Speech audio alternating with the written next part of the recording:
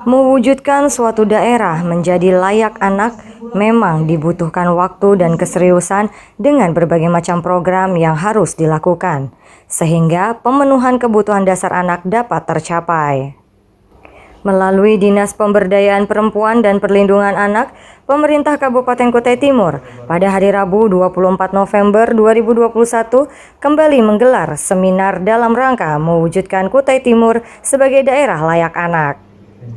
Acara seminar ini selain menghadirkan narasumber dari psikolog Yulia Wahyuningrum, juga hadir beberapa organisasi perempuan di wilayah Kutai Timur, seperti PKK, Perisda, Gabungan Organisasi Wanita, Dharma Wanita, Persit Kartika, Bayangkari, dan Adiaksa Dharma Kartini. Wakil Bupati Kutai Timur, Kasmidi Bulang saat membuka seminar tersebut mengatakan bahwa pemenuhan dasar anak dibutuhkan peran orang tua dalam memberikan perhatian khusus, utamanya dalam lingkungan keluarga itu sendiri.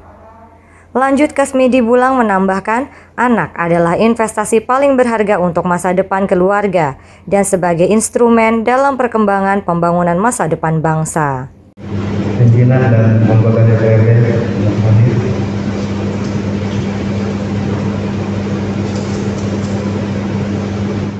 Penguatan keluarga dari kesetaraan gender dan sekaligus untuk uh, anak-anak uh, kita ke depan. Harapan kita bahwa di Kutai Timur itu karena kabupaten ini adalah kabupaten yang layak anak ya kita sudah mendapat predikat itu dari secara nasional selanjutnya kegiatan ini juga bagian daripada penguatan penguatan itu ya.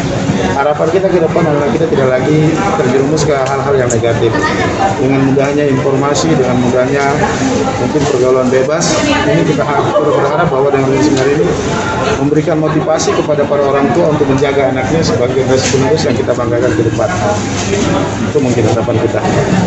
Ini salah satu apa ya, salah satu proses ya untuk menjaga anak kita agar menjadi kualitas yang lebih baik ke depan.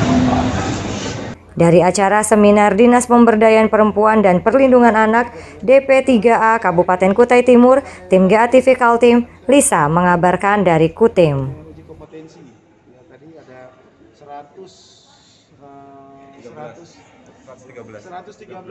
Ya ada 100